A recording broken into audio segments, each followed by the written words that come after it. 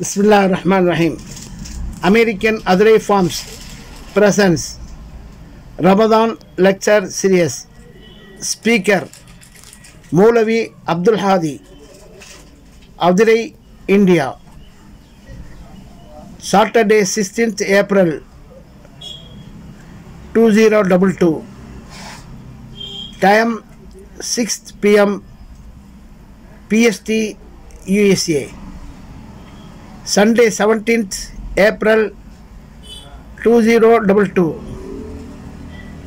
ٹائم سکس ترٹی اے ایم انڈیا ویا زوم میٹی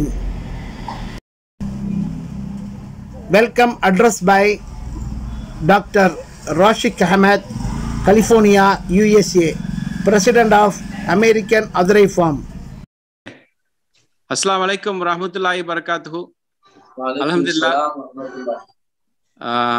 AF American வால் அதிரையர் கூட்டமைப்பு மூலிமா உங்க அனைவரையும் சந்திப்பதில் ரொம்ப சந்தோஷம். அலமதுல்லா ஏற்கனவே ஒரு லெக்சர்ஸ் பண்ணியிருந்தோம். ரொம்ப நல்லா இருந்துச்சு. எல்லாருடைய வரவேற்பும் பெற்றுச்சு. ஆஹ் இப்போ வந்து நம்ம அதிரை ஆலிம்சா மௌலவி அப்துல் ஹாதி ஆலிம்சா அவங்க மூலியமா இப்போ ஒரு ப்ரோக்ராம் பண்ண போகிறோம் அலமதுல்லா இறைவன் உலகத்துல பல விஷயங்களை படைச்சான். அதில் நமக்கு ஒரு பன்னிரெண்டு மாத மாதத்தை படைச்சு கொடுத்துருக்கான். அந்த பன்னெண்டு மாசத்துல ஒரு மாசம் ரொம்ப சிறப்பானதுன்னு இறைவன் சொல்றான். அதுதான் இந்த ரமதான் மாதம். அதுல ஒரு ரெண்டு வாரம் போயிடுச்சு. இன்னும் ஒரு ரெண்டு வாரம் இருக்கு அலமதுல்லா இறைவன் அந்த ரெண்டு வாரத்தையும் நல்ல சிறப்பாக அமைச்சு கொடுக்க இதுவாக செய்வோம் இன்ஷால்லா இப்போ அந்த மாதம் ஏன் சிறப்பு அப்படிங்கிறதுக்கு பல காரணங்கள் இருக்கு. அதுல ஒரு காரணம் என்ன அப்படின்னா இந்த ரமதான் மாதத்துல நம்ம செய்யற ஒவ்வொரு செயலும் ஒரு சின்ன செயலா இருந்தாலும் அதுக்கு பன்மடங்கு பலனை கொடுக்குறான். இந்த உலகத்திலையும் மறு உலகத்திலையும் நமக்கு பலனை கொடுக்குறான் இறைவன். ஸோ அதுதான் இதனுடைய முக்கியமான ஒரு விஷயம் அலமதுல்லா நம்ம வந்து சொல்லுவாங்க ஒரு கொள்ளையடிக்கிறது அப்படின்ட்டு. அதாவது எந்த விஷயத்திலையும் அந்த வார்த்தையை யூஸ் பண்ணக்கூடாது. ஆனால் நல்ல விஷயங்களை கொள்ளையடிக்கிறதுல நம்ம அந்த வார்த்தையை யூஸ் பண்ணலாம். நன்மைகளை கொள்ளையடிக்கிறதுக்குள்ள மா மாசம் இது. தீமைகளை விட்டு ஒதுங்கிறதுக்குள்ள மாதம் இது அப்படின்னு நம்ம சொல்லலாம் அலமதுல்லா அதை பத்தி விளக்குறதுக்கு நம்ம அப்துல் ஹாதி மௌலானாவை நம்ம அழைப்போம் இன்ஷால்லா வாங்க உங்களுடைய கருத்தை சொல்லுங்க இன்ஷால்லா அனைவரும் கேட்டு பயனடைங்க அஸ்லாம் வலைக்கம் الحمد لله رب العالمين والصلاة والسلام على سيد المرسلين وعلى آله وأصحابه أجمعين أما بعد وأعوذ بالله من الشيطان الرجيم. بسم الله الرحمن الرحيم. شهر رمضان الذي أنزل فيه القرآن هدى للناس وبينات من الهدى والفرقان. فمن شهد منكم الشهر فليصم. ومن كان مريضا أو على سفر فعدة من أيام أخر. يريد الله بكم اليسر ولا يريد بكم العسر. ولتكملوا العدة ولتكبروا الله على ما هداكم ولعلكم تشكرون. صدق الله العظيم. وقال رسول الله صلى الله عليه وسلم من صام رمضان إيمانا واحتسابا غفر له ما تقدم. وقال أيضا صلى الله عليه وسلم من قام رمضان إيمانا واحتسابا غفر له ما تقدم أو كما قال عليه الصلاة والسلام அன்பிற்குரிய பாசத்திற்குரிய சகோதரர்களே அதிரைவாள் மண்ணின் மைந்தர்களே உங்களோட நேரலில் தீனுடைய விஷயங்களை பரிமாறிக்கொள்றதுக்காக இப்படி ஒரு சூழ்நிலை அமைத்து தந்ததுக்கு நான் அல்லாவுக்கு அதிகமாக நன்றி செலுத்துகிறேன் அலமதுல்லா நாம் எல்லாம் ஒரு புனிதமான மாதத்தினுடைய நடுப்பகுதியில் நாம் இருக்கோம் அல்லாஹ் சுபஹானுத்தாலா இந்த வருஷத்தினுடைய ரமலானை அடையும் பாக்கியத்தை அல்லாஹ் நமக்கு நசிபாக்கினான். அலமதுல்லா இது பரிபூர்ணமாக அல்லாஹ் இந்த ரமலானை அடையும் பாக்கியத்தை நசிபாக்குவானாக. இந்த ரமலானில் என்னென்ன நலவுகளே குறிப்பாக லைலத்துல் கதருடைய இரவை அல்லாஹ் மறைத்து வைத்ததாக குரானிலே சொல்லி காட்டுகிறான். அந்த இரவையும் முழுமையாக அடைந்து அதில் அல்லாஹ் நமக்கு வாக்களிக்கக்கூடிய எல்லா நலவுகளுக்கும் சொந்தக்காரர்களாக அல்லாஹ் ஆக்கி வைப்பானாக. கண்ணியமிக்க அல்லாஹின் நல்லடியார்களே அல்லாஹ் சுபஹானு தாலா இந்த உலகத்துல எதையுமே வீணாக படைக்கலை. எந்த ஒரு பொருளுமே இயற்கையாக அல்லாஹ்வால் படைக்கப்பட்ட பொருளாக இருந்தாலும் சரி அது மனிதனால் உற்பத்தி செய்யப்படக்கூடிய வஸ்துக்களாக இருந்தாலும் சரி எல்லாமே ஒரு நோக்கத்தோட தயாரிக்கப்படும். எல்லாத்துடைய மொத்த நோக்கம் என்ன? அல்லா குரான்ல சொல்லும் போது இந்த பூமியில் இருக்கிற எல்லாமே உங்களுக்காகத்தான் அல்லாஹ் சொல்லிட்டான். மனிதன் பயனடைவதற்காகத்தான் பூமியில விளையக்கூடிய விளைச்சலாக இருந்தாலும் சரி கடலிலே நீந்தக்கூடிய மீனினங்கள் மனிதனுக்கு தேவையான எல்லா வகையான முத்துக்கள் மாணிக்கங்கள் அதே போன்று பறவைகள் மிருகங்கள் எல்லாமே அல்லாஹ் சுப்ஹானஹு அந்த ஒரு சின்ன வசனத்திலே அல்லாஹ் சொல்லி காட்டும் போது எல்லாம் உங்களுடைய லாபத்துக்கு தான். மனிதன் பயனடைய வேண்டும் என்பதற்காக தான். மனிதனுக்கு ஒரு விஷயம் பயன் இல்லை என்று சொன்னால் அது தூக்கி எறியப்படும். அது உதாரணத்துக்கு நம்ம தயாரிக்கக்கூடிய ஒரு பொருள் பேனா இருக்குது. எதுக்காக தயாரிக்கப்படுது? அது எழுதணும். பேனாவுடைய நோக்கம் அதனுடைய மக்சத் அது அது எழுதணும். விளக்கு தயாரிக்கப்பட்டிருக்கிறது எதுக்காக? அதனுடைய மக்சத் என்ன? அதிலிருந்து வெளிச்சம் வரணும். இப்படி ஒவ்வொரு பொருளுமே அதுக்குரிய நோக்கத்தை அது நிறைவேற்றினாதான் அது இருக்கக்கூடிய இடத்துல அது இருக்கும். பேனா இருக்குது ஆனால் எழுதலை. அது ஜோப்புல சிறந்த இடத்துல அது இருக்காது. அதை தூக்கி நம்ம வீசிடுவோம். விளக்கு இருக்குது அதுல இருந்து வெளிச்சம் கிடைக்கல. அதை நம்ம தூக்கி வீசிடுவோம். அது உயர்ந்த இடத்துல அது இருக்காது. இதே மாதிரி ஒவ்வொரு பொருளுக்கும் அதுக்குரிய நோக்கத்தை அது நிறைவேற்றலைங்கும் போது அது தூக்கி வீசப்படும். அல்லாஹ் சுபானுத்தாலா பல இடத்துல இந்த எல்லா படைப்பினங்களை பத்தியும் அல்லாஹ் சுட்டி காட்டுறான் நான் இதெல்லாம் இதுக்காக படைச்சேன் இதுக்காக படைச்சேன். ஆனா மனிதனை பார்த்து அல்லாஹ் கேள்வி கேட்கிறான். أفحسبتم أنما خلقناكم عبثا وأنكم إلينا لا ترجعون؟ மனிதர்களே நீங்கள் என்ன நினைத்து கொண்டீர்களா? உங்களை நான் சும்மா படைத்தேன் என்று வீணாக படைத்தோம் என்று நினைத்துக் கொண்டீர்களா? எல்லாம் நமக்காக நம்ம யாருக்காக? அல்லாஹ் அந்த கேள்வி இந்த- இந்த தோரணையில அல்லாஹ் கேள்வி கேட்கிறார். எல்லாம் உங்களுக்காக நான் படைச்சிட்டேன் எல்லாம் உங்களுக்கு வசப்படுத்தி தந்துட்டேன். மனிதன் நினைத்தால் வானத்தில் பறந்து செல்ல முடியும். மனிதன் நினைத்தால் கடலுக்கடியில் ஆராய்ச்சி செய்ய முடியும். மனிதன் நினைத்தால் நிலாவிலும் சந்திரனும் கால் பதித்து அங்கேயும் ஆராய்ச்சி செய்ய முடியும். எல்லாத்தையும் அல்லாஹ் வஸ்- வசஹ்ஹர அர்தி இந்த பூமியில் இருக்கிற எல்லாத்தையும் உங்களுக்கு கடலில் உள்ளதை உங்களுக்கு வசப்படுத்தி தந்துட்டோம். சூரியனையும் சந்திரனையும் உங்களுக்கு வசப்படுத்தி தந்துட்டோம். எல்லாத்தையும் உங்களுக்கு வசப்படுத்தி தந்துட்டோம். உங்களை நான் எதற்காக படைத்தேன்? வன்னக்கும் இலை லா துர்ஜாஊன் திருப்பி நம்மிடம் வரமாட்டீர்கள் என்று நினைத்துக் கொண்டீர்களா என்பதாக அல்லாஹ் கேட்கிறான். இப்ப நோக்கம் என்ன? நம் நம்மை எதற்காக அல்லாஹ் படைத்தான்? பொதுவாகவே ஒரு மனிதன் அவனுக்கு அல்லாஹ் ஒரு ஆறாவது அறிவு அல்லாஹ் கொடுத்திருக்கிறான்னு சொன்னால் இதை சிந்திப்பதற்கு தான். நான் எதற்காக படைக்கப்பட்டேன்? இந்த உலகத்துக்கு நான் எதுக்கு வந்திருக்கிறேன்? நான் எங்க போய்கிட்டு இருக்கிறேன்? நான் கடைசியா எங்க போய் சேர்ந்த பிறகு நான் எதை கொண்டுட்டு போக போறேன்? எதை நான் விட்டுட்டு போக போறேன்? இதை ஒரு மனிதன் தனிமையில் உட்கார்ந்து சிந்திப்பானேயானால் அவனுக்கு விடை அல்லாஹ்விடம் தான் கிடைக்கும். தீனில் தான் கிடைக்கும் இஸ்லாத்தில் தான் கிடைக்கும் குரானில் தான் கிடைக்கும்.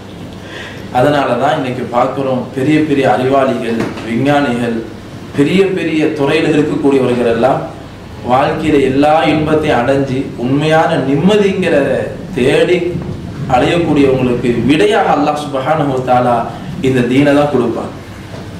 எல்லாம் அலைஞ்சு திரிஞ்சு பார்த்துட்டு எங்கேயுமே இல்லைப்பா இங்கேதான்ப்பா இருக்குதுன்ற சொல்லி கடைசியாக ஈமானை ஏற்றுக்கொள்ளக்கூடிய சூழ்நிலை இன்னைக்கு நாம உலக அளவில் நம்ம பல விஷயங்களை பல நபர்களை நாம பார்த்துருப்போம் கேட்டிருப்போம் பேசியிருப்போம். அல்ஹம்துலில்லாஹ் அல்லாஹ் சுப்ஹானஹு வ அந்த புனிதமான தீனுல் இஸ்லாத்துல அல்லாஹ் நம்மளை பிறக்க வச்சிருக்கார். நம்முடைய தாய் தந்தையர்களை முஸ்லீம்களாக ஆக்கி நம்முடைய சூழ்நிலை இஸ்லாமிய சூழ்நிலாக ஆக்கி அல்லாஹ் தாலா நம்ம இந்த வாழ்க்கை பிரயாணத்துல அல்லாஹ் தாலா நம்மளை கொண்டு போயிட்டு இருக்கார் அதில் விசேஷமாக கண்ணியமிக்க அல்லாஹ் என்னுடையார்களே அல்லாஹ் நம்ம எதற்காக படைத்தான் என்பதை அல்லாஹவே சொல்லும் போது ஒமா ஹலபத்துல் ஜின்ன ஒல் இன்ச இல்லாலி ஆகுதும் நான் ஜின் வர்க்கத்தையும் மனித வர்க்கத்தையும் என்னை வணங்குவதற்காகத்தான் படைத்தேன் அல்லாஹ் சொல்றான். அல்லாஹ் அணைஞ்சிலதான் அசல் நோக்கம். அப்ப அந்த இடத்த ஹஜரத் இப்னு அப்பாஸ் ரதி அல்லாஹு தலான்னு விளக்கம் சொல்லுவாங்க அல்லாவை வணங்குவது என்று சொன்னால் லியாரிஃபூன். அல்லாஹ்வை விளங்குவது. முதல்ல அல்லாஹ் விளங்கணும். அல்லாஹை நாம் எந்த அளவுக்கு விளங்கி இருக்கிறோமோ அந்த அளவுக்கு தான் அவனை நாம் பயப்படுவோம். அந்த அளவுக்கு தான் அவன் மீது அன்பு வைப்போம். அந்த அளவுக்கு தான் நம்முடைய வணக்கமும் இருக்கும். அல்லாஹ் விளங்கலை. அல்லாஹ் எவ்வளோ பெரியவன்?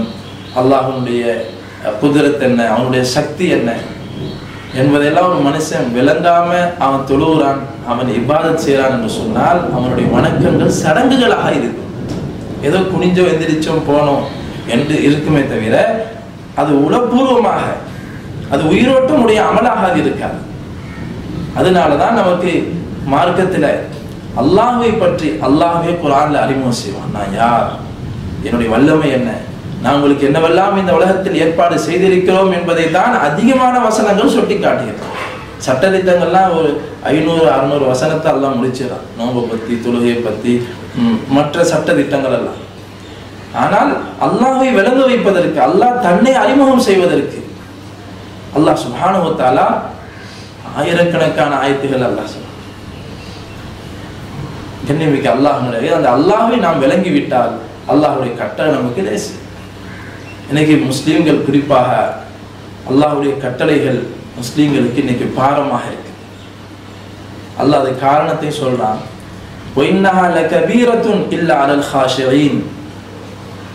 இந்த என்னுடைய கட்டளையில முக்கியமான கட்டளை அல்லாஹ் சொல்லவும் தொழுகையை சொல்லுவோம் முதல் கட்டளை. ஈமானுக்கு பிறகு முதல் கட்டளை தொழுகை.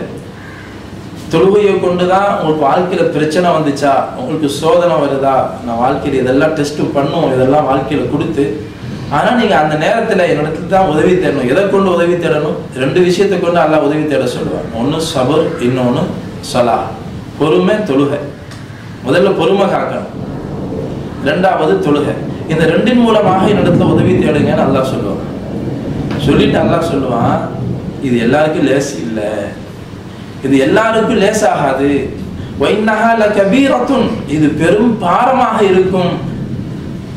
யாருக்கு பாரமா இருக்காது? இல்லா அலல் ஹாஷி என்னை அஞ்சி என்னை விளங்கி என்னை பயந்து வாழ்பவர்களுக்கே தவிர மற்றவர்களுக்கு என்னுடைய கட்டளைகள் எல்லாம் சுமையாக இருக்கும். அதுக்கெல்லாம் விளக்கமும் சொல்றான். என்னை அஞ்சக்கூடியவன்னா யா- யாரு? الذين يظنون أنهم ملاقو ربهم وأنهم إليه راجعون. நிச்சயமாக ஒரு நாள் நாங்கள் அல்லாஹை போய் சந்திக்க போகிறோம் அது ஒரு நாள் நம்ம நோக்கி வந்துட்டு இருக்குது வேகமாக வந்துட்டு இருக்கு நாள் போக போக நம்ம மௌத்துடைய நாளே நெருங்கிட்டு இருக்கிறோம் அல்லாஹை சந்திக்கும் நாள் நெருங்கி வந்து கொண்டிருக்கிறது. அதை யார் உள்ளத்தால் உறுதியாக நம்புகிறார்களோ? திரும்பி ஒரு நாள் அல்லாஹ்விடம் செல்ல இருக்கிறோம். உறுதியாக நம்பக்கூடியவர்களுக்கே தவிர மற்றவர்களுக்கு என்னுடைய கட்டளைகள் எல்லாம் பாரம்தான். உள்ளத்துல முதலாவது ஈமானை சரி செய்யணும். அதனாலதான் நபி சொல்லா அலி வஸல்லம் ரமதானை பத்தி சொல்லும் போது ரெண்டு விஷயத்தை குறிப்பிட்டு சொன்னாங்க. மன் சாம ரமதான ஈமானம் வஹ்திசாபன் பகல் காலங்கள்ல நோன்பு வைக்கிறது ரெண்டு விஷயத்தை கொண்டு இருக்கணும். அப்பதான் இந்த நோன்பை கொண்டு உண்டான பிரயோஜனம் உண்டாகும். முதல் விஷயம் ஈமான் இருக்கணும். முதல் விஷயம் ஈமான் இருக்கணும். இந்த ரமலானுடைய மாதத்தில் பகல் காலத்தில் இப்படியாக நோன்பு இருக்கும்படி அல்லாஹ் என் மீது கடமையாக ஆக்கியிருக்கிறான். அல்லாஹ்வுடைய கட்டளையை நான் பூர்த்தி செய்து கொண்டிருக்கிறேன். நான் நோன்பு வைப்பதால் அல்லாஹ் சந்தோஷப்படுகிறான். அல்லாஹுடைய அன்பு எனக்கு கிடைக்கிறது. யார் பார்த்தாலும் பார்க்காவிட்டாலும் நான் சாப்பிட மாட்டேன் குடிக்க மாட்டேன். என்னுடைய மனோ இச்சையின்படி நான் நடக்க மாட்டேன் என்பதாக உள்ளத்தால அந்த ஈமான் முதலாவது இருக்கணும். ரெண்டாவது நபி சொல்லா அலைஹி வஸல்லம் சொன்னாங்க இதனால கிடைக்கிற நன்மைகளை ஆதரவு வைக்கணும். அல்லாஹ் சொன்னதாக நபி சொல்லா அலைஹி சொல்லுவாங்க எல்லா அமலுக்கும் கூலி கொடுக்கப்படும் மறுமையில. ஆனால் நோம்புக்கு நானே கூலி கொடுப்பேன். நோம்புக்கு மட்டும் நானே கூலி கொடுப்பேன் என்பதாக அல்லாஹ் சொல்லி காட்டியது அப்போ அல்லாஹ் தரக்கூடிய வெகுமதிகளை ஆதரவு வைத்தவர்களாக நாம் இந்த ரெண்டு விஷயத்தை கொண்டு ஒன்று ஈமான் இரண்டாவது நன்மை ஆதரவு வைக்கிறது. இந்த ரெண்டை கொண்டு யார் நோன்பு வைப்பார்களோ? நபிசல்லா ஸல்லல்லாஹு என்ன வாக்குறுதி தராங்கன்னா அந்த ஒரு வருஷமாக போன ரமதான்லேருந்து சரி, இந்த ரமலான் வரைக்கும் என்ன பாவங்கள் ஏற்பட்டுச்சோ இந்த பாவங்கள் எல்லாம் கழுவப்பட்டு விடும் இன்னைக்கு அல்லாஹ் நல்லடியார்களே பாவங்கள் கழுவப்படுறதுன்னா சாதாரண விஷயம் இல்லை. ஒரு மனுஷன் மூத்தா போகும்போது பரிசுத்தமா அல்லாட்ட போகணும். இல்லாமன் அதல்லாஹ பி கல்பின் சலீம். அல்லாஹ் சொல்லுவான் யாருக்கு சொர்க்கம் இருக்குதுன்னா யார் இடத்துல வரும்போது சலாமத்தான உள்ளத்தோட வருவாங்களோ பரிசுத்தமான உள்ளத்தோட வருவாங்களோ அழுக்கு இல்லாம கரை இல்லாம அழுக்கு அழுக்கெல்லாம் நீக்கப்பட்ட நிலையில எப்படி நம்ம பிறக்கும் போது எப்படி வந்தோம்? பிறக்கும் போது ஹஜ்ஜிக்கு போயிட்டு வந்தா சொல்லுவாங்க அன்று பிறந்த பாலகனை போல திரும்பி வர்றாங்கன்னு. அப்போ உலகத்துக்கு வரும்போது நாம பரிசுத்தமாக வந்தோம். ஆனால் இந்த உலகத்தினுடைய மகவுள் இந்த உலகத்தினுடைய சூழ்நிலை பாவத்தால் பா பார்வையால் பாவங்கள் பேச்சால் பாவங்கள் கேட்கக்கூடிய விஷயங்களால் எத்தனையோ பாவங்கள் நம்மை சூழ்ந்திருக்கிறது. மனிதங்கிற அடிப்படையில் தவறு செய்யக்கூடியவன் தான். நபிசல்லா அலிஸ்லாம் சொன்னாங்க குல்லு பனி ஆதம ஹத்தா. ஆதமுடைய மக்கள் எல்லாரும் தவறு செய்யக்கூடியவர்கள் தான். தவறு செய்யாட்டி அவர் மலக்கா போயிடுவார். தவறு செய்யாதவங்க செய்ய தெரியாதவங்க யார் என்று சொன்னால் மலக்குமார்கள். நபிமார்கள். அல்லாஹ் நபிமார்களை பாவத்தை விட்டு பாதுகாத்தான். அதை தவிர உள்ள எல்லா மனிதர்களுமே பாவம் செய்யக்கூடியவர்கள் தான் சரி இந்த பாவம் செய்கிறவங்கள அல்லாவுக்கு பிரியமானவங்க யாரு? நபி சொல்லா சொன்னாங்க ஹைருல் ஹத்தாஹி அத்தவ்வாபூன் பாவைகளில் சிறந்தவர்கள் தௌவா செய்யக்கூடியவர்கள். ஒரு ஹதீஸ்ல இன்னொரு ஹதீஸ்ல வருது நபி சொல்லா சொல்லுவாங்க உலகத்துல யாருமே பாவம் செய்யலைன்னா யாருமே பாவம் செய்யல. எல்லாருமே நல்லவங்களாக இருந்தாலும் இவங்களை எல்லாம் அல்லாஹ் மூத்தாக்கிட்டு பாவம் செய்யக்கூடிய மக்களை கொண்டு வந்து அவங்கள தௌபா செய்ய வச்சு அல்லாஹ் அழகு பார்ப்பான். அல்லாஹ்க்கு ரொம்ப பிரியமான விஷயம் தௌபா செய்யறது என்பது. அப்போ இந்த பாவங்கள் மன்னிக்கப்படுவதற்கு முக்கியமான ஒரு காரணியாக அல்லாஹ் சுபானுத்தாலா பொது மன்னிப்பு வழங்கக்கூடிய ஒரு மாசத்தையே அல்லாஹ் தந்திருக்கிறான். ரமலானுடைய மாசம். புது மன்னிப்பு வழங்கப்படக்கூடிய மாசம் இது. கொஞ்சம் ஒரு முஸ்லீம் தன்னுடைய உள்ளத்தை பக்குவப்படுத்தி ஈமானை சரி செய்து கொண்டு நன்மை ஆதரவு வைத்தவராக இந்த பகல் காலத்தில் நோன்பு வைத்தால் அப்பழுக்கற்றவராக பரிசுத்தமானவராக ஆகிவிடுவார். அவருக்கு அல்லாஹ் சுபானுத்தாலா எப்படிப்பட்ட கூலியை தரேங்க நானே கூலியாயிடுறேன்.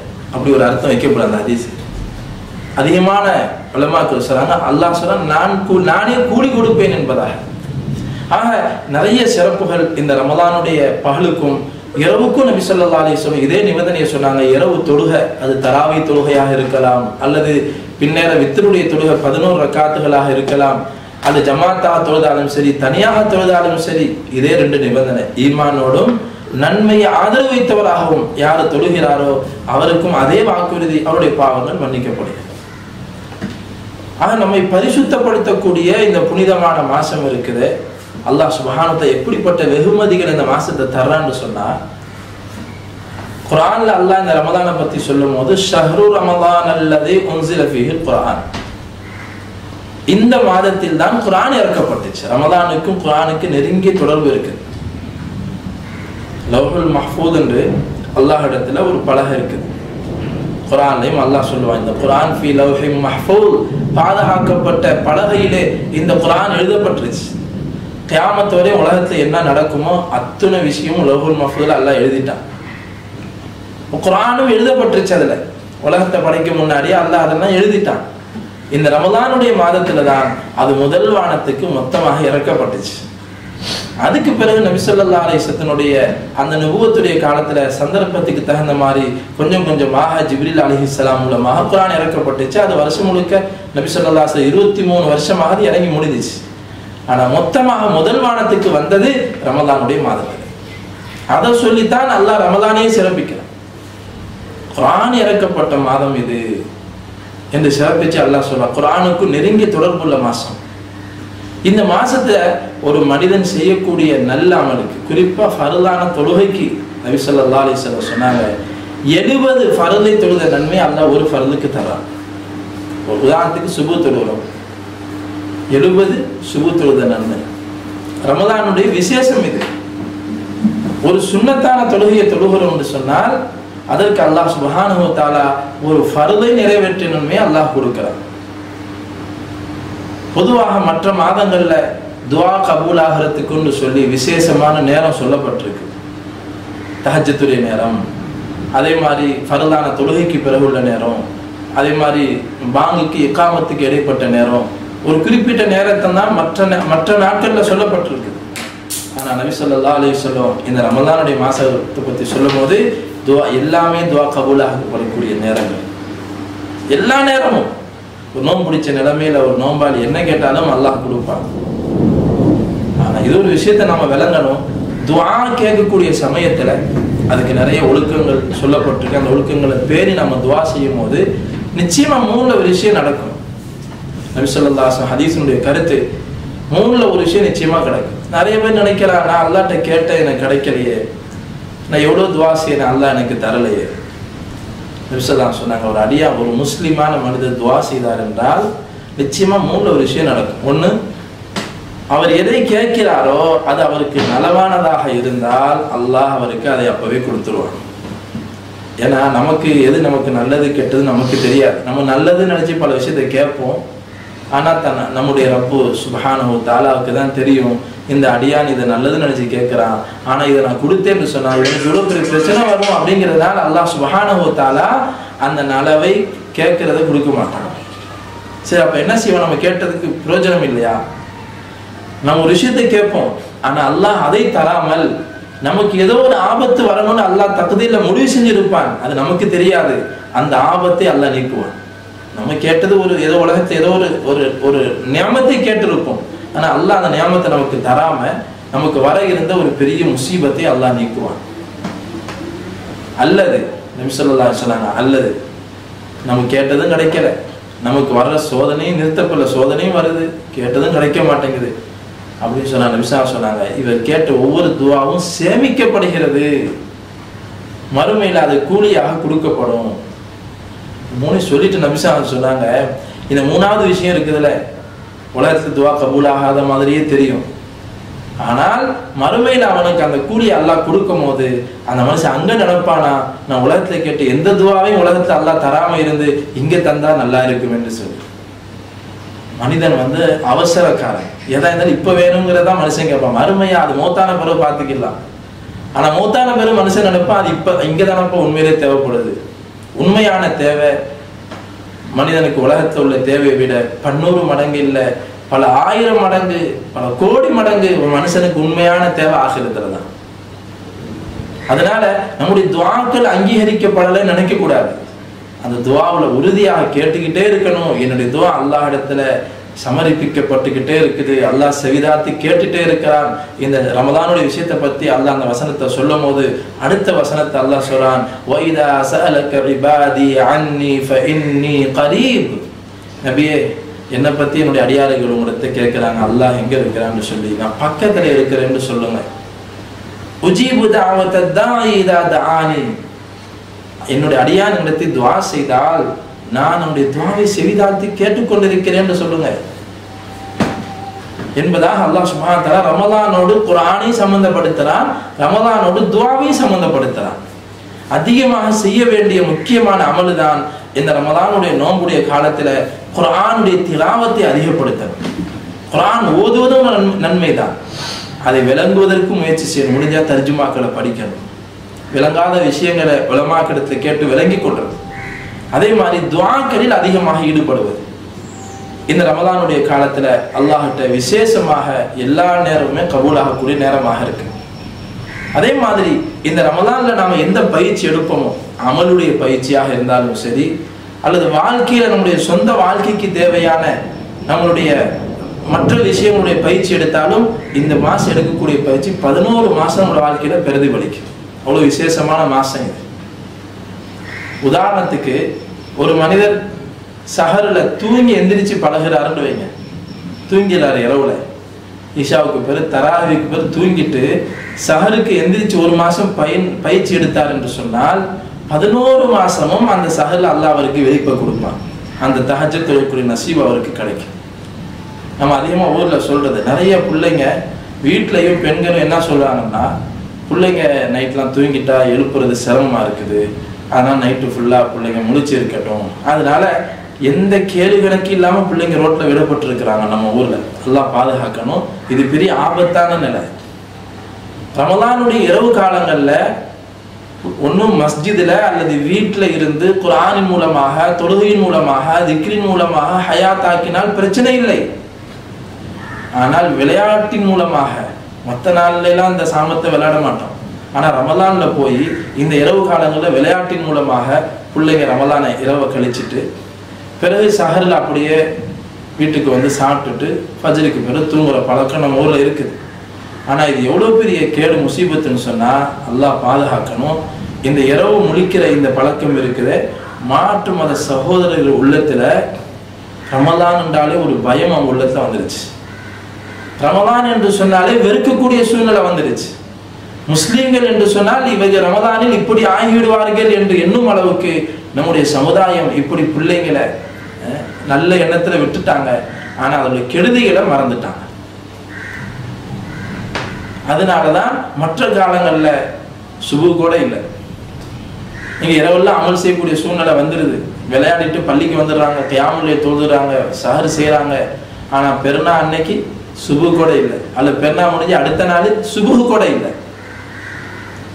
இது இந்த ரமலான எந்த முறையில் பயிற்சி எடுக்குமோ அந்த முறையில் பயிற்சி எடுக்காத நஷ்டம். இது நான் சொல்லக்கூடிய விஷயம் என்னன்னு சொன்னால் இந்த ரமலானில் நல்ல பயிற்சிகளை எடுங்க. இரவுல தூங்கி நான் பிள்ளைங்கிட்ட வாலிபர்கிட்ட சொல்லக்கூடிய விஷயம் என்னன்னு சொன்னால் இரவுல நீங்கள் தொழுகாட்டியும் பரவாயில்லை. நீங்கள் தராவியை முடிச்சிட்டு நீங்கள் வேற எந்த அமலும் செய்ய வேண்டாம். நீங்கள் வீட்டில் போய் தூங்கிடுங்க நல்லா சந்தோஷப்படுவான். ஆனால் ஊர் சுற்றுவதோ விளையாடுவதோ நேரத்தை சகர் வரைக்கும் நம்ம முழிச்சு இருக்கணுங்கிற ஒரு காரணத்தை சொல்லி ஷைத்தான் உங்களை இரவுல அமர வைக்கிறான்னு சொன்னால் இது ஷைத்தானுடைய ஏமாற்றம் இது. நம்ம பயிற்சி கொடுக்கணும். வீடுகளில் இதை சிரமம் பார்க்காம பெண்கள் என்ன செய்யணும் சொன்னா பிள்ளைங்களை தூங்க வைக்கணும். லேட் ஆயிட்டா வீட்டை பூட்டிடணும். ஒரு காலம் இருந்துச்சு தாமதம் ஆயிட்டா வீட்டில் இருக்கக்கூடிய பெரியவங்க கண்டிப்பாங்க. ஏன் இவ்வளவு தாமதம்? தொழுக முடிஞ்சு இவ்வளவு நேரமாச்சு? ஏன் வீட்டுக்கு வரல? என்பதாக கண்டிச்சு பிள்ளைங்களை சீக்கிரமாக வர வைக்கக்கூடிய சூழ்நிலை வீடுகளில் இருந்துச்சு. இன்னைக்கு முழு இரவும் வீடுகள் திறந்து கிடக்குது. யாருக்கும் எந்த கேள்வி கணக்கும் இல்லை. இது ஆபத்தான எதிர்காலத்தை நம்ம ஊர் போ எதிர்நோக்கி போய்கிட்டு இருக்குதுங்கிற அச்சத்தை உருவாக்குகிறது. இது மேல ஒரு- நம்ம சமுதாயம் எல்லாரும் கவலைப்பட வேண்டியது இருக்குது. வாலிப சமுதாயத்தின் மீது தனி கவனம் செலுத்தணும். இந்த ரமதானில் என்ன பயிற்சி எடுத்துட்டு இருக்கிறாங்க? ஆனா நம்ம நாம் நினைச்சிட்டு இருக்கிறோம் பிள்ளைங்க நோன்பு வைக்கிறாங்க தொழுகிறாங்க ஓதுறாங்க நினைக்கிறோம். ஆனா இதெல்லாம் வீணாகிற மாதிரியான ஒரு முயற்சி உள்ளுக்குள்ள நடந்துட்டு இருக்கு. ஆக நாம் இந்த ரமதானில் நல்ல பயிற்சிகளை எடுக்கணும். எப்படி அல்லாஹ் சுபஹானஹு தொழுகைக்கும் இந்த நோன்புக்கும் அல்லாஹ் தர நேரத்தை நமக்கு வந்து சரியான ஒரு நேரத்தோட தான் ஒவ்வொரு அமலையுமே நமக்கு அல்லாஹ் நமக்கு பயிற்சி கொடுக்கிறான். குரான் அல்லா தொழுகை பத்தி சொல்லும் போது இன்ன ஸலாத்த தக்கான அலல் முஃமினீன கிதாபம் மௌகூதா. மூமின்களுக்கு தொழுகை இருக்கிறது இது நேரம் குறிப்பிடப்பட்ட தொழுகையாக இருக்கிறது. அந்த நேரம் தொழுகை நேரம் வந்துச்சா? எங்க இருந்தாலும் எந்த நிலையில இருந்தாலும் அந்த தொழுகைக்கான முயற்சியை செஞ்சிடணும் ஒரு முஸ்லீம். அப்ப தொழுகையில ஒரு மனிதன் சரியாகிவிட்டால் அவர் எந்த துறைக்கு போனா சரியா இருப்பார். அவர் போகக்கூடிய எல்லா துறையும் சீராக இருக்கும். நோம்புலையும் அதே தான் சஹருடைய நேரம் குறிப்பிடப்பட்டது இஃப்தாருடைய நேரம் குறிப்பிடப்பட்டிருக்கு. இந்த பயிற்சியை ஒரு முஸ்லீம் எடுத்தார் என்று சொன்னால் இவர் வாழ்க்கையில் எல்லா விஷயத்தையும் சரியாக இருப்பார். அப்போ நம்முடைய அமலின் மூலமாக அல்லாஹ் வாழ்க்கையே நமக்கு தர்த்தி பண்ணி கொடுக்கிறார். ஆனா அதை அதை அதை வீணாக்கக்கூடிய சூழ்நிலையை ஷைத்தான் நமக்கு முன்னாடியே சொல்லி தந்தான் ரமலானுக்கு முன்னாடியே ஏன்னா ரமலான்ல ஹதீஸ்ல வருது ரமலானுடைய மாசம் வந்துட்டால் மரதத்துல் ஜின் அதாவது ஜின்களை சேட்டை செய்யக்கூடிய ஜின்களும் அட்டூழியம் புரியும் ஷைத்தான்களும் விலங்கிடப்பட்டுறாங்க. அவங்களுக்கு வேலை இல்லை. அவங்களுடைய வேகம் இருக்காது. அதனாலதான் பாருங்க கூப்பிடாமலே பெருங்கூட்டம் பள்ளியாசலுக்கு வந்துடுறாங்க தொழுவத்து ரமதான் மாசத்தை சுபு பெருங்கூட்டம் வருது. ஒவ்வொரு வக்துக்குமே பள்ளி நிரம்புது மாஷா இல்ல ஏன்னா ஷைத்தானுடைய அந்த வேகம் இருக்காது. அதனால சைத்தான் நோமுக்கு முன்னாடியே சொல்லி கொடுத்துட்டு போயிடுவான். நீங்க ரமதானுடைய இரவுல எங்க விளையாடணும்? இரவை எங்க கழிக்கணும்? எப்படி கழிக்கணும்? அப்படின்னு முன்னாடியே சொல்லி கொடுத்ததை தான் ரமதான்ல அமல் செய்யறாங்க இந்த விஷயத்தை நாம புரிஞ்சு நம்ம குறிப்பாக இதுல அதிகமான கவலை உலமாக்களுக்கு இருக்குது. ஊருடைய எதிர்கால விஷயங்களை நினைச்சு பார்க்கும்போது இப்படி இரவு காலங்கள்ல ஆனா அலமதுல்லா அல்லாஹ்வுடைய ஒரு பெரிய கிருபை என்னன்னு சொன்னா இந்த ரெண்டு வருஷமா இந்த இந்த இந்த சோதனையான காலம் ஒண்ணு ஏற்பட்டுச்சு. மஸ்ஜிதுகள் மூடப்பட்ட நிலைமை அதே மாதிரி நோன்புகள் எல்லாம் வீடுகள்லயே தராவியுடைய தொழுகை தொழுத நிலைமை இது ஒரு வகையில அல்லாஹ் நம்மளை தர்பியத்து செஞ்சான் அதனால ரோடுகளில் சுத்தக்கூடிய நிலைமை ரோடுகளில் விளையாடக்கூடிய நிலைமைகள் குறைக்கப்பட்டுச்சு அல்ஹம்துலில்லாஹ் அதனால இந்த வருஷம் கடந்த காலத்து இல்லாத மாதிரி கொஞ்சம் அந்த விஷயங்கள் எல்லாம் ஊர்ல கொஞ்சம் குறைஞ்சிருக்குது அல்ஹம்துலில்லாஹ் துவா செய்யுங்க. இதை இன்னும் நல்ல முறையில இரவு காலங்கள் நம்ம ஊர்ல பாதுகாக்கப்படணும். இரவுல நல்ல சூழ்நிலை உருவாகணுங்கிறதுக்காக நீங்க எல்லாம் அதிகமா துவா செய்யணும். ஏன்னா நீங்க உங்களுக்கு எந்த நேரமும் ஊருடைய சிந்தனை இருந்துகிட்டே இருக்கும். ஊரில் என்ன நடக்குது? பிள்ளைங்க எப்படி இருக்கிறாங்க? சொந்தக்காரங்க எப்படி இருக்கிறாங்க? நம்முடைய சொ- சொந்த பந்தங்களுடைய நிலைமை என்ன என்பதாக உங்களுக்கு அக்கறை இல்லாமல் இருக்காது. அதனால உங்களுக்கு நான் விஷயத்தை சொல்லக்கூடிய என்ன உங்களுக்கு நான் சொல்ல வரேன்னு சொன்னால் இப்போ நல்ல சூழ்நிலை தெரியுது. அல்ஹம்துலில்லாஹ் இதை நீடிக்கிறதுக்கு துவா செய்யுங்க. வேறு வகையான சூழ்நிலையில் வந்துடாமல் இருக்கிறதுக்காக துவா செய்யுங்க. அல்லாஹ்வுடைய கிருபை அல்லாஹ் சுப்ஹானஹு தாலா இந்த வருஷம் ரமலான் அடையக்கூடிய பாக்கியத்தை தந்துட்டான். குறிப்பாக அல்லாஹ் குரானில் இந்த இரவனுடைய கடைசி பகுதியை பற்றி சூரத்துல் கதிரில் அல்லாஹ் சொல்லி காட்டுறான். அந்த லைலத்துல் கதிர்ன்ற பேர் சூறாவே அல்லாஹ் இறக்கி சிறப்பித்து சொல்லியிருக்கிறான். வருஷத்தில் ஒரு ராத்திரி இருக்குது. அந்த ஒரு இரவை நீங்கள் பயன்படுத்திக்கிடணும் அப்படிங்கிற ஒரு விஷயத்தை எல்லாம் நமக்கு ஆர்வப்படுத்தலாம் இன்னா அன்சல்னாஹு ஃபீ லைலத்தில் கதர். குறிப்பா ரமலான்ல இந்த குரான் இறங்குனுச்சு முதல் வானத்துக்குன்னு சொன்னோமே அந்த ரமலான்ல எந்த இரவுல இறங்குனுச்சுங்கிறது அந்த லைலத்துலுக்கு அதனுடைய சூறால அல்லாஹ் சொன்னான். அந்த லைலத்துல் கதருடைய இரவுல இறங்குனுச்சு. அது எப்படிப்பட்ட இரவு? லைலத்துல் கதிரி ஹைரும் மின் அல்ஃபி ஷஹர். ஆயிரம் மாதங்களை விட சிறந்த இரவு. ஆயிரம் மாதத்தை விட சிறந்த இரவு. அப்படின்னு சொன்னா எண்பது வருஷத்துக்கு மேல வருது. நம்ம வாழ்றதே எண்பது வருஷம் வாழ்வோமா? நூறு வருஷம் வாழ்வோமா? தெரியாது. ஒரு மனுஷன் ஒரு வருஷத்துல உள்ள அந்த ஒரு ராத்திரிய சரியான முறையில் அடைஞ்சிட்டான்னு சொன்னார் நபி சொல்லா அலிஸ்வலம் சொன்னார்கள் யார் அந்த லைலத்துல் கதரு இரவை சரியான முறையில் அடைந்து கொண்டாரோ அவர் எல்லா பாக்கியத்தையும் அடைந்து கொண்டார். யார் அந்த ரமலானுடைய இரவை அந்த லைலத்துல் கதருடைய இரவை இழந்து விட்டாரோ அவர் எல்லா நலவுகளையும் இழந்து- இழந்து நபி சொல்லா சொன்னார். அப்போ அந்த ஒரு இரவு எது அப்படிங்கிற விஷயம் எல்லாம் மறைச்சி வச்சிருக்காரு. அந்த குறிப்பிட்ட நாளில் மட்டும் அமல் செஞ்சு இந்த உமத்து போகக்கூடாது. இந்த முப்பது நாளும் பயிற்சி எடுத்து ஒழுங்கான முறையில் அந்த இரவு காலத்தை கழிச்சிட்டோம் இந்த ரமதானை கழிச்சிட்டோம்னு சொன்னால் கண்டிப்பாக அந்த நேரத்தில் இருக்கிறது கிடைச்சிடும் இது நாம நன்மைகளை ஆரம்பத்துல அறிமுகம் செஞ்சவங்க சொன்ன மாதிரி கொள்ளடிக்கக்கூடிய மாசம் எப்படி ஒரு வியாபாரிக்கு சீசன் வந்துருச்சுன்னு சொன்னா அஹ், அந்த விசேஷமான காலத்துல இரவு பகலா முடிச்சிருந்து அந்த அதுல முழுமையாக அப்படியே சஹாபாக்கு சொல்றாங்க ஆயிஷா ரதி அல்லாஹு தலான்ஹா சொல்றாங்க நபிசாசா ரமதான் வந்துட்டா முழுக்க முழுக்க அல்லாவுக்கு கவனம் செலுத்துவாங்க. குறிப்பா கடைசி பத்து வந்து விட்டால் தங்களுடைய கீழாடை இருக்க கட்டிக்கொள்வார்கள் கச்சலை கட்டி களத்துல இறங்கிட்டான்னு சொல்லுவாங்கல்ல. அப்படின்னா என்ன முழு வீச்சா இறங்கிடுவாங்க நபிசாசனம் படுக்கையை சுருட்டி வச்சிருவாங்க. வீட்டுல உள்ளவங்க எழுப்பி விட்டுருவாங்க. இரவுல தூங்க விட மாட்டாங்க. நபி ஸல்லல்லாஹு அந்த இரவுடைய ரஹ்மத் அந்த இரவுல அல்லாஹ் எவ்வளவு அடியாறுகளை மன்னிக்கிறான். அந்த இரவுல லைலத்துல் கதருடைய இரவுல மலக்குமாரி ஜிப்ரீல் அலைஹிஸ்ஸலாத்தோட இந்த பூமிக்கு இறங்கி வர்றாங்க. எங்கெல்லாம் அந்த இரவுனுடைய பகுதி அந்த நேரத்தில் கதை வருதோ முழு முழு உலகத்தையும் சுற்றிடுறாங்க. அந்த நேரத்துல நாம தூங்கி நேரத்தை வீணாக்கிற கூடாது. அந்த ஒரு இரவு இந்த மாசத்துல வருது. இன்னும் அந்த நாள் வரல. கடைசி பத்துல இருக்குதுன்னு நபி சொல்லா அலைஹி சொன்னாங்க. அதுலேயும் குறிப்பாக ஒற்றப்படையில இருக்குது. நீங்க அந்த ஒற்றப்படையில அதை தேடிக்கிடுங்க நபி சொல்லா அலைஹி சொல்லி தான் சொன்னாங்க. அந்த அந்த லைலத்துல் கதர் இரவை தேடி தான் நான் மஸ்ஜிதில் இத்திகாஃப் இருக்கிறேன்னு நபி ஸல்லல்லாஹு அதனால யாருக்கு விருப்பமோ என்னோட எத்தி காஃபிருங்க நபி ஸல்லல்லாஹு அலைஹி சஹாபாக்கு அழைப்பு கொடுத்தாங்க. அதிகமான சஹாபாக்கள் எத்தி காஃபிர். தான் நபிசாசன் தன்னுடைய ஹயாத்துல கடைசி வரைக்கும் ரமலானுடைய கடைசி பத்து நாள் மஸ்ஜித் எத்தி காஃபி இருந்து அதை அமல்படுத்தினான் சொல்லப்பட்டது கடைசி வருஷம் நபிசல்லாசி இருபது நாள் எத்தி காஃபி தான். ஏன்னா அந்த அதுக்கு முந்தின வருஷம் ஒரு பிரயாணத்தின் காரணமாக ஏத்திகாஃப் விடுபட்டுச்சு. அதை நிவர்த்தி செய்யறதுக்காக கடைசி வருஷம் நபிசாசனம் இருபது நாளாக ஏத்திகாஃப் இருந்ததாக வருது. அதனால இவ்வளோ அல்லாஹ்வுடைய நபி எவ்வளோ பிஸியானவங்க ஒரு சமுதாயத்தின் தலைவர் மட்டும் இல்லை முழு உலகத்தினுடைய தலைவர் முழு இஸ்லாமிய சாம்ராஜ்யத்தின் தலைவராக இருந்தாங்க. பத்துக்கும் மேற்பட்ட மனைவிமாருடைய குடும்ப தலைவராக இருந்தாங்க. இதுக்கு மத்தியில் நபி ஸல்லல்லாஹு அல்லாஹுடைய அல்லாஹ்வுடைய கடமையில குறை செய்யலை. அதனால நாம எப்படி உலகத்துல சம்பாதிப்பதற்காக நாம முயற்சி செய்யறோமோ ஆசைப்படுறோமோ கிடைக்கிற நேரங்களெல்லாம் பயன்படுத்தி காசு பணங்களை சம்பாதிக்கிறோமோ அதுபோல இந்த ரமதான்லையும் அல்லாஹிடத்துல நம்முடைய திறமைகளை காட்டணும். அல்லாஹ் நம்முடைய அடிமை அல்லா நீ கொடுத்த பாக்கியம் யா நீ என்னை ஹயாத்தோட இந்த ரமலானை அடையக்கூடிய பாக்கியத்தை கொடுத்தாயா அல்லாஹ் நீ விரும்பின முறையில் இந்த ரமலானை நான் கழிக்கிறேன் யா அல்லான்னு சொல்லி அல்லாஹ் இடத்துல நம்முடைய திறமைகளை காட்டணும் அமல்கள் மூலமாக. பாவங்களை விட்டு முழுமையாக ஒதுங்கி இருப்பதன் மூலமாக. ஏன்னா அமல் வந்து நம்மளால் சக்திக்கு உட்பட்டாலும் அமல் செஞ்சால் போதும்.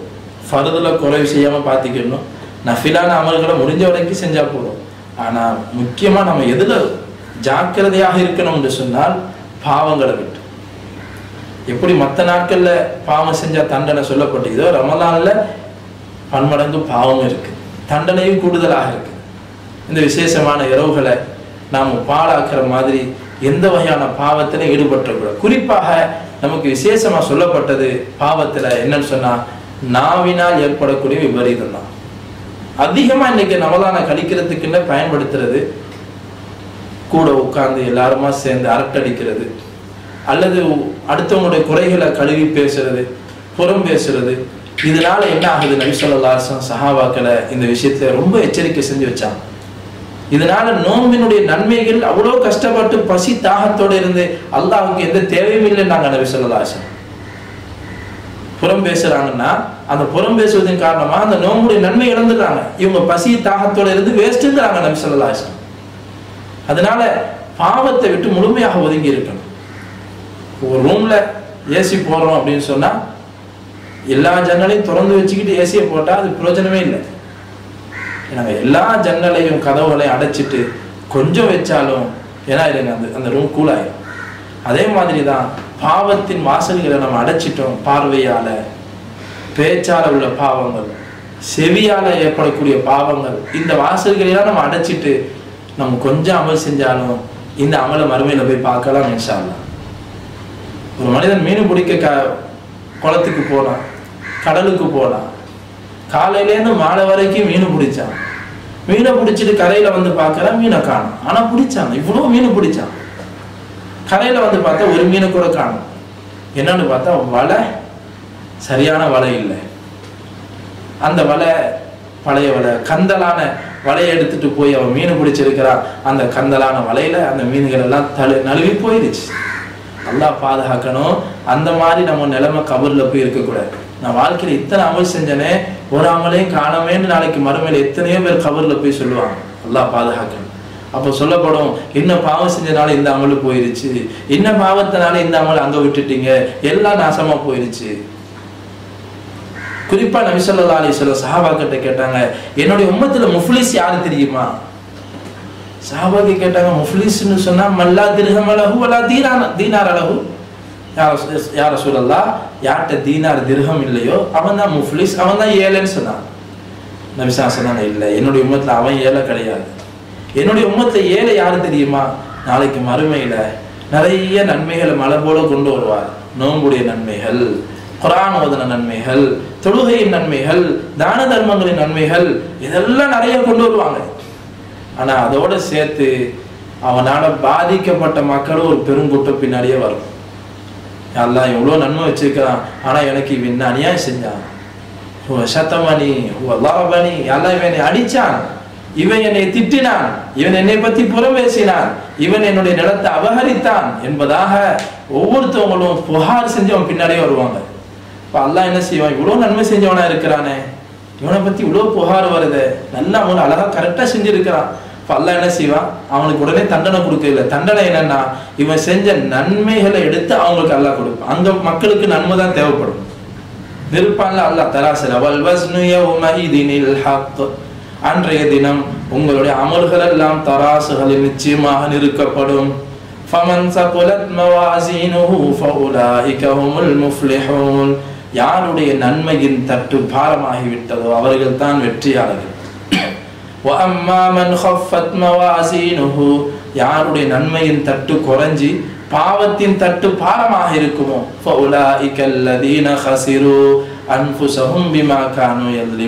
அவங்க செஞ்ச பாவத்தின் காரணமாக அவங்க தான் பெரும் நஷ்டத்தை சந்திக்கக்கூடியவங்கன்னு அல்லாஹ் சொல்ற அல்லாஹ் பாதுகாப்பானா அப்போ கடைசியில் நபி சொல்லா சொன்னாங்க அந்த நன்மைகளை எல்லாம் அள்ளி அள்ளி எந்த அளவு பாதிக்கப்பட்டாங்களோ அந்த அளவு நன்மையை பாதிக்கப்பட்டவங்களுக்கு கொடுக்கப்பட்டுட்டே இருக்கும். கடைசியில் எந்த அளவுக்கு ஆயிரும்னா நன்மை மழை போன்ற நன்மை முடிஞ்சு போயிடும் ஆனா பாதிக்க பாதிக்கப்பட்ட மக்கள் இன்னும் நிறைய இருப்பாங்க. அப்ப அவங்க என்ன- அவங்க கேட்பாங்க யாரெல்லாம் நாங்க என்ன செய்யறது எங்களுக்கும் வேணுமே. அப்ப அல்லாஹ் பார்ப்பான் அவங்ககிட்ட பாவங்கள் இருக்குமா இல்லையா? பாதிக்கப்பட்டவங்களுடைய பாவங்களை அல்லாஹ் வந்து இவங்க தலையில போடுவான். நன்மை செஞ்சவங்களுடைய தலையில பாவங்கள் கொட்டப்படும். நன்மை மலை போன்ற நன்மை உடையவர் இப்ப எப்படி ஆயிடுவாரு மலை போன்ற பாவ குமியலோட இருப்பாரு. இந்த நிலையில் இவர் நரகத்தை தள்ளப்படுவார். இவர் தான் என்னுடைய உம்மத்தில் உள்ள ஏழை என்பதாக நபி சொல்லா அலிஸ்லாம் சொன்னார் அந்த ஏழைகளை விட்டு அல்லாஹ் நம்மை பாதுகாப்பானாக. கண்டிமைக்கு அல்லாஹ் நம்ம நினைக்கலாம். நான் அப்படி யாருக்கும் அதிகமான அநியாயம் செய்யலையே. நான் யாரையும் திட்டுறதில்லை. நான் யாரையும் அடிக்கிறதில்லை. அது நம்மகிட்ட ஏற்பட்டிருக்காது. ஆனால் புறம் புறம் இருக்குதே. நபி ஸல்லல்லாஹு அலைஹி கடுமையாக அதை எச்சரிச்சிருக்கிறான். குரான்ல அது சொல்லப்பட்டிருக்குது. உங்களுடைய சகோதரன் உங்களுடைய சகோதரன் இறந்து பக்கத்தில் இருக்கிறாரு. உங்களுக்கு கடுமையான பசியா இருக்குது. சகோதரனுடைய ம- கறியை எடுத்து சாப்பிடுவீங்களா? மையத்து தான். அவர் கறியை திம்பிங்களான்னு அல்லாஹ் கேட்கிறான். இதுக்கு இந்த உதாரணத்தை வேற எதுக்குமே அல்லாஹ் கேட்கல. இந்த மாதிரி உதாரணத்தை அல்லாஹ் சுப்ஹானஹு வேற எதுக்குமே சொல்லல. புறத்துக்கு சொல்றான். புறத்துக்கு அல்லாஹ் சொல்றான். அதை எப்படி நீங்கள் வெறுப்பீர்களோ அந்த மாதிரி நீங்க அடுத்த சகோதரனை பத்தி நீங்க குறைகள் பேசுறது அவர்களை பற்றி அவதூறுகள் சொல்றது அபாண்டம் சுமத்துறது இது அதை விட பெரிய பெரிய பாவங்கள். இது போன்ற விஷயங்களால மனிதன் தன்னுடைய நன்மைகளை எல்லாம் யாரை பத்தி பேசணுமோ அவங்களுக்கு கொடுத்துருவான். யாரை பத்தி புறம் பேசணுமோ அவங்களுக்கு என்ன ஆயிடுது? நம்முடைய அமலை ஈஸியா கொடுத்துரும்.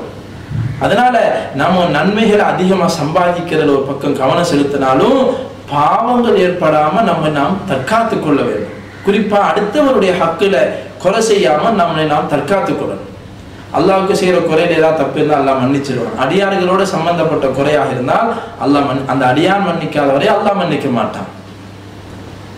அதனால் நாம இந்த விஷயத்தை அதிகமாக கவனம் செலுத்தணும். குறிப்பாக நபிசல்லா ஸல்லல்லாஹு சொன்னாங்க இந்த ரமலானில் ஒரு நோன்பாளிக்கு நோன்பு திறக்க நீங்க ஏற்பாடு செய்யறது அந்த நோன்பாளிய நன்மை போன்று உங்களுக்கு அந்த நன்மை கிடைக்கும். நம்ம நோன்பு வைக்கிறோம். அதோட நம்ம போதுமாக்கி எப்படி உலகத்தை நம்ம போதுமாக்கி கொள்றது ஒரு செல்வம் கிடைச்சிருச்சு. அல்ஹம்துலில்லாஹ் தன்னறைவோட இருப்போம். இந்த அளவு செல்வம் சம்பாதிச்சிட்டோம். இது நம்ம வாழ்க்கைக்கு போதும். நாலு தலைமுறை இதை வச்சு வாழ்ந்துடும் சொல்லி யாரும் திருப்தி அடைகிறதில்லை எவ்வளவு நம்ம சக்தி இருக்கிற வரைக்கும் காசு பணங்களை சம்பாதிக்கிறோம். இது மனிதனுடைய இயல்பு அது. அதே மாதிரி ஒரு முஸ்லீம் தன்னுடைய வாழ்க்கையில அமல்களை கொண்டு போதுமாக்கி கொள்ளக்கூடாது. தன்னிறைவு அடையக்கூடாது நன்மையை கொண்டு. போதும். நம்ம நோன்பு வைக்கிறோம் தொழுகிறோம் மோதுறோம். இதுக்கு மேல நமக்கு என்ன வேணும்? அப்படி நினைக்க கூடாது தீனுடைய விஷயத்துல. மறுமையில இதை விட நமக்கு தேவை இருக்கிறதுங்கிறத எண்ணி அடியார்கள் நன்மைகள்ல போட்டி போடணும். போட்டி போடுறதே அல்லா குரான்ல புகழ்ந்து சொல்றான். ஃபல்யத்தனாஃபஸில் சொர்க்கத்தை பத்தி அல்லாஹ் வர்ணிச்சுட்டு சொல்லுவான். வாழ்க்கையில போட்டி போடணும்னு ஒண்ணு இருக்குதா? இதுல போட்டி போடுங்கப்பா. அல்லாஹ் தஷ்கீ செய்யறான் ஆர்வப்படுத்துகிறான் அல்லாஹ் சுபஹானஹு வ உலகத்துல எது எதுலயும் நீங்க போட்டி போடுறீங்க. நீங்க போட்டி போடணும்னு ஒண்ணு இருக்குதா? இந்த சொர்க்கத்தை அடையிறதுக்காக நீங்க போட்டி போடுங்க. சொர்க்கத்துல பதவிகள் இருக்குது. ஒரு சுபகானல்லா நம்மளை விட இன்னொருத்தர் கூடுதலா வாழ்க்கையில சொல்லி இருந்தால் அதுக்கு அவருக்கும் வானத்துக்கும் பூமிக்கு வித்தியாசம். தரஜா உயர்வுல இருப்பார் அவர். மறுமையில் அங்க போய் நம்ம அந்தஸ்தை உயர்த்தி கொள்ள முடியாது. அங்க போய் நன்மைகளை சம்பாதிக்க முடியாது. கிடைத்த இந்த வாழ்க்கையில நபி ஸல்லல்லாஹு அலைஹி சஹாபாக்களுக்கு சொன்னாங்க ஒரு நோன்பாளிக்கு நோன்பு திறக்க ஏற்பாடு செஞ்சு கொடுத்தீங்கன்னா அந்த நோன்பாளியுடைய நன்மை உங்க- நோன்புடைய நன்மை ஒண்ணு அவருடைய நோன்புடைய நன்மை அது போன்று அவருக்கு இருக்கு அவருக்கு குறையாது. அதே மாதிரி உங்களுக்கு அந்த நன்மை அல்லா தருவான். சஹாபாக்கு கேட்டாங்க யார சொல்லலாம் எங்களுக்கு நோன்பு திறக்க ஏற்பாடு செஞ்சு சாப்பிடுறதே பெரும்பாலாக இருக்குது. இவ்வளவு வறுமை கஷ்டத்துல இருக்கிறோம். இன்னொருத்தருக்கு எப்படி எங்களால் நோன்பு திறக்க ஏற்பாடு செய்கிற வசதி வாய்ப்பு இல்லையேன்னா நபிசா சொன்னாங்க ஒரு பேரிச்சம்பழம் கொடுத்தா போதும்பா. ஒரு மீட்டர் தண்ணி கொடுங்க. இல்லை ஒரு மீட்டர் பால் எடுத்து கொடுங்க. அந்த நோம்பாளி நன்மையை நீங்கள் வாங்கிடலாம். பெரிய ஏற்பாடு இது செஞ்சாதான் அந்த நோம்பாளிக்கு நம்ம ஏற்பாடு செய்யறதுங்கிறது இல்லை. குறைஞ்சபட்சம் இதையாவது செய்யுங்க நபி ஸல்லல்லாஹு சொல்லும் சஹாபாக்களுக்கு ஆர்வப்படுத்தினாங்க. இப்போ இந்த ரமலானுடைய மாசத்துல நபி ஸல்லல்லாஹு சொல்லும் பர அடுத்தவங்களுக்கு செய்யக்கூடிய உதவி உபகாரங்கள் குறிப்பா சொந்த பந்தங்களில் யார் கஷ்டத்தை இருக்கிறாங்க? அதை அதை அவங்க மேல நம்ம கவனம் செலுத்தணும். நபி ஸல்லல்லாஹு அலைஹி சொல்லும் மற்ற மாதங்கள்லயே வாரி வாரி வழங்கக்கூடியவங்க. தன்னை தனக்கே இருக்காது ஆனால் பிறருக்கு கொடுத்து உதவுவாங்க. ஆனால் ரமலானில் நபிசாசத்தை பத்தி அஹ், சஹாபாக்கள் வர்ணிக்கும் போது சொல்லுவாங்க எப்படி புயல் காத்து வீசுகிறதோ அது போன்று நபி அள்ளி வீசக்கூடிய மாசமாக தான தர்மம் செய்யறதுல நபிசல்லா சொல்லும் புயல் காற்றை போல வேகமாக செலவு செய்வாங்க. இவ்வளவு அள்ளி அள்ளி கொடுப்பாங்க நபி செலவு அந் அப்போ அந்த மாதிரி ஒரு சிறப்பு வாய்ந்த மாசமாக இருக்குது. இந்த மாசத்துல ஒரு வினாடியை நம்ம வீணாக்க கூடாது. குறிப்பாக பாவமான விஷயங்களை விட்டும் நம்மை நாம் தற்காத்துக் கொள்ள வேண்டும். நம்முடைய மனைவி மக்கள் நம்முடைய பிள்ளைங்க எல்லாரையும் இந்த ரமலான்ல ஒரு பயிற்சி எடுக்கணும். இந்த ரமலானுடைய பயிற்சி தான் பதினோரு மாசம் நம்மகிட்ட பிரதிபலிக்கக்கூடியதாக இருக்குது. இந்த மாசம் தக்குவாவை நமக்கு உருவாக்கக்கூடிய மாசம் அல்லாஹ் சொல்றான். நான் ஏன் உங்களுக்கு நோம்ப கடமையாக்கி இருக்கிறேன் நல்லா குரான்ல காரணம் சொல்றான். யா ஐயுஹல்லதீன நாமனும் குத்திப அலைக்குமுஸ் ஸியாம் ஈமான் கொண்டவர்களே உங்களுக்கு ரமலானுடைய மாதத்தின் நோன்பு கடமையாக்கப்பட்டிருக்கிறது. கமா குத்திப அலல்லதீன நமின் கபலிக்கும். இதற்கு முன்னாடி இருந்த சமுதாயத்துக்கு நோன்பு கடமையா நாம் ஆக்கினோம். எதுக்காக நோன்பு கடமை? லஅல்லக்கும் தத்தகூன். உங்களுக்கு தக்குவாவுடைய வாழ்க்கை உங்களுக்கு இதன் மூலம் கிடைக்கலாம். நோன்பின் மூலமாக என்ன பயிற்சிங்க? தக்குவா கிடைக்கும். தக்குவாண்டா என்னது? தக்குவாவுக்கு விளக்கம் சொல்றாங்க உலமாக்கள் இன்திசாலு அவாமிரில்லா உன் அவாஹி அல்லாஹ் ஏவிய விஷயங்கள் எல்லாம் எடுத்து நடக்கிறது அல்லாஹ் தடுத்த விஷயங்களை விட்டு ஒதுங்கி இருக்கிறது. இதான் தக்குவா. இதுக்கு என்ன வேணும்? அல்லாட பயம் வேணும். பயம் இருந்தாதான் அல்லாஹ் சொன்னதை செய்வோம்.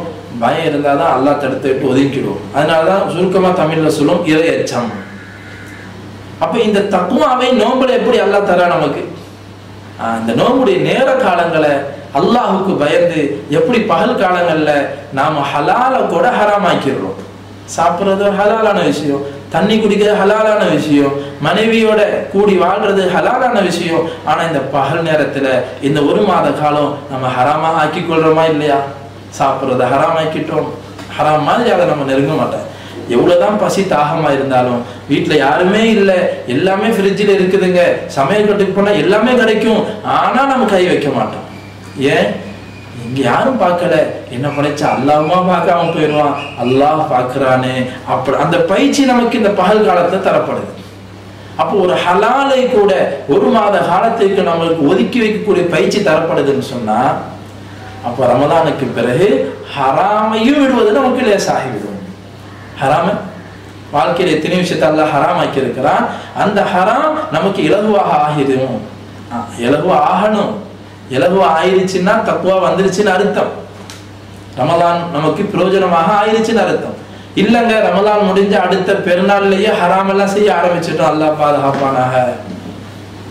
பெருநாள் பெருநாள் அன்னைக்கே எல்லா ரமலானுடைய இதையும் நம்ம வீணாக்கிட்டோம் என்று சொன்னால் ரமலான்ல நாம் பயிற்சி எடுக்கலைன்னு அர்த்தம்.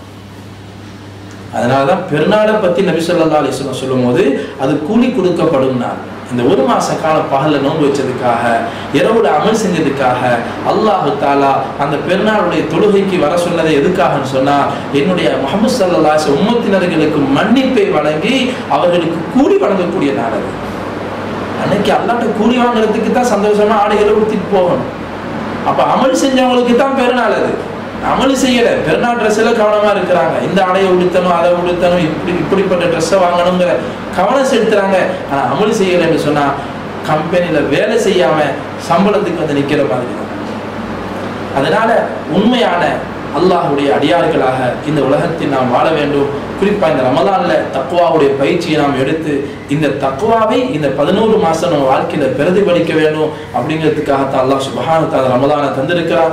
இதை நாம் சரியான முறையில் பயன்படுத்தி குறிப்பா கடைசி பத்தை வாய்ப்பு இருந்தால் மஸ்ஜிதில் எத்திக்காக இருப்பது வாய்ப்பு இல்லை என்று சொன்னால் குறிப்பா இரவு காலங்களை மட்டுமாவது முழுமையாக நபி ஸல்லல்லாஹு அலைஹி பின்பற்றி நாம் துவாவிலும் அமலிலும் தொழுகையிலும் நாம் கழிக்க வேண்டும். அல்லாஹ் சுப்ஹானஹு வ அந்த முறையில் இந்த ரமதானை கழிப்பதற்கு அல்லாஹ் நமக்கு தோஃபி தௌஃபீக் செய்வானாக எந்த விஷயங்களை பேசினோமோ கேட்டோமோ அதை வாழ்க்கை முழுமையாக எடுத்து நடக்க அல்லாஹ் தௌஃபீக் செய்வானாக வாஹிர் தாவானா அல்ஹம்துலில்லாஹி ரப்பில் ஆலமீன் அஸ்ஸலாமு அலைக்கும் வரஹ்மத்துல்லாஹி வபரகாத்துஹு الحمد لله رب العالمين حمدا يوافي نعمه ويكافي مزيده واعف عنا يا كريم يا رحيم يا الله اللهم تقبل منا صلاتنا وصيامنا وقيامنا وركوعنا وسجودنا وتضرعنا وتخشعنا وتمم تقصير أعمالنا وتجاوز عنا سيئاتنا وتوفنا مع الأبرار يا الله எங்களுடைய பாவங்களை மன்னிச்சிடு யா அல்லாஹ் இந்த புனிதமான ரமலானுடைய மாதத்தில் நீ எங்களை வந்து சேர வைத்தாய் யா அல்லாஹ் இந்த ரமலானை அடையும் பாக்கியத்தை நசீபாக்கினாய் யா அல்லாஹ்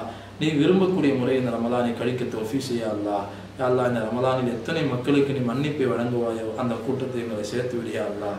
நல்லடியாக கூட்டத்தை சேர்த்து விடியா அல்லாஹ். துர்பாக்கியசாலி கூட்டத்தை சேர்த்து விடாதே அல்லா அல்லா அனைத்து முஸ்லீம்கள் மீதும் யா மற்றவர்களுக்கு முன்மாதிரியாக வாழ தோஃபி செய்ய அல்லாஹ்.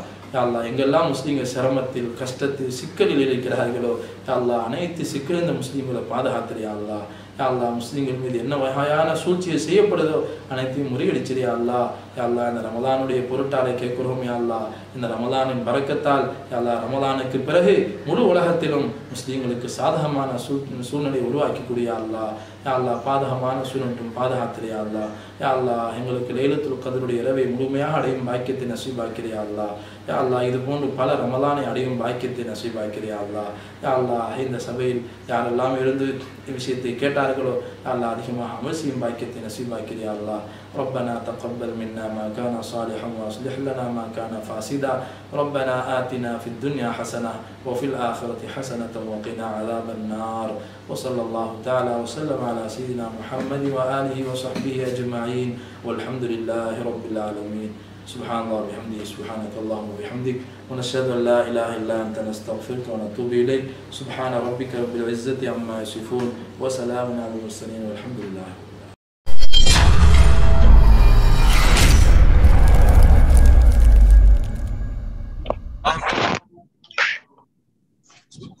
துவா